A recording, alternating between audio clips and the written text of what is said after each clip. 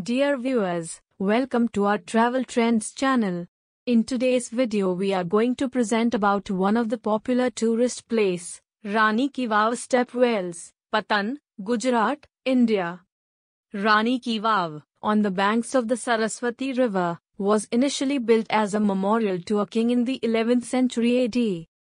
Step wells are a distinctive form of subterranean water resource and storage systems on the Indian subcontinent, and have been constructed since the 3rd millennium BC.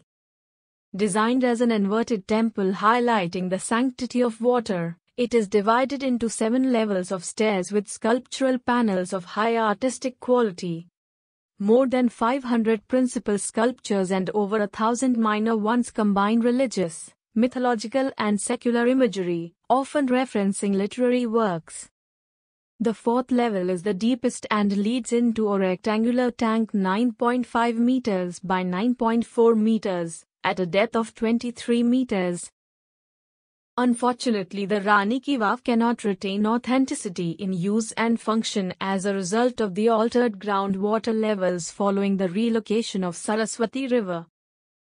The tourist place Rani Ki Vav Step Wells, Patan, Gujarat, India is one of the ideal place for your next vacation travel and fun time. Please watch till end of this video and subscribe our channel for more interesting content. Thank you. Good day.